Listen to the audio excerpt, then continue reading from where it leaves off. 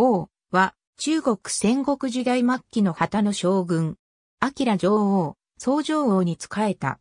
生没年は不詳であるが、紀元前244年に死没した王との同一人物説がある。紀元前260年、趙を撃って上等を取った。趙の反撃に対し、秦では内密に白旗を増援させて上将軍とし、王骨をその副将とした。徴兵の戦いでは、趙を大いに破った。紀元前259年、白旗に代わって、将として、趙の竹安君を撃ち、河原を取る。紀元前258年、王領が趙の簡単を攻めて、増軍もしたが、戦況が思わしくないので、王骨が変わって、将となる。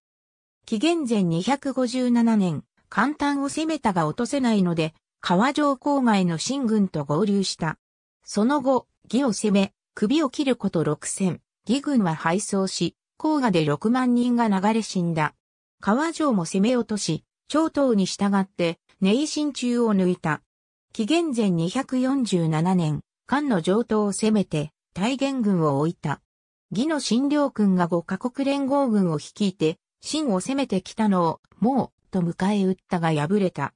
秦軍は、河内から川外に退却し、その軍を解散した。なお、四季、旗本義で活躍した王骨は、旗はじめ公本義では一切触れられず、逆に、旗はじめ公本義に初めて現れる将軍王は、旗本義には登場しない。